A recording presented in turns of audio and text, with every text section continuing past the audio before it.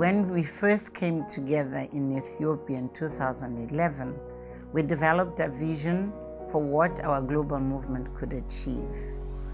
We still have much to do, but we have come far in a relatively short time.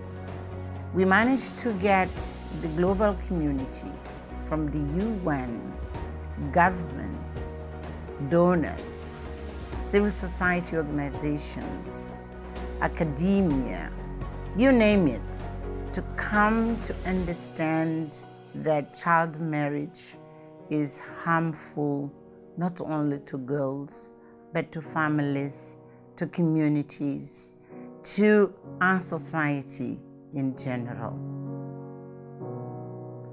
As an agenda, it is already on the top of development and social change.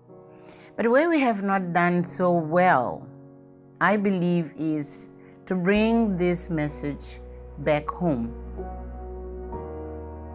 I'd like to see not only national pacts in which you have exactly government, private sector, non for profit organizations, religious organizations, academia, NGOs, parents' associations, and you name it, all of them taking responsibility for change.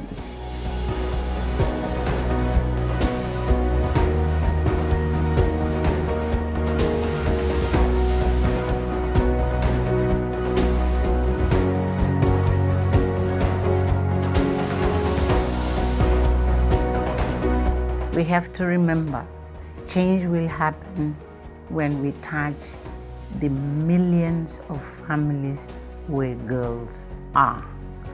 It is a community issue, but at the end, it's the parents, father and mother of these girls who make the decision how to allow her to flourish, how to keep her at school much longer, how to allow her to make a decision when and with whom she wants to get married, how many children, if at all she wants to have children. All these decisions are made at family level. So before we are conscious that we are touching the millions of families, particularly in those regions and districts where child marriage is very deeply embedded practice, we will not see the change. We need to keep not only pressure, but we need to keep educating in a sustained way all those who are involved in making decisions about the life and the future of girls.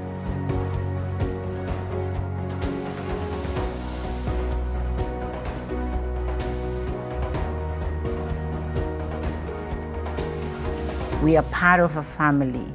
We want you to take courage and face whatever are the odds you deal with on a daily basis, knowing that you are part of a powerful chain of solidarity, of hard work, in which we know defeat is not a choice.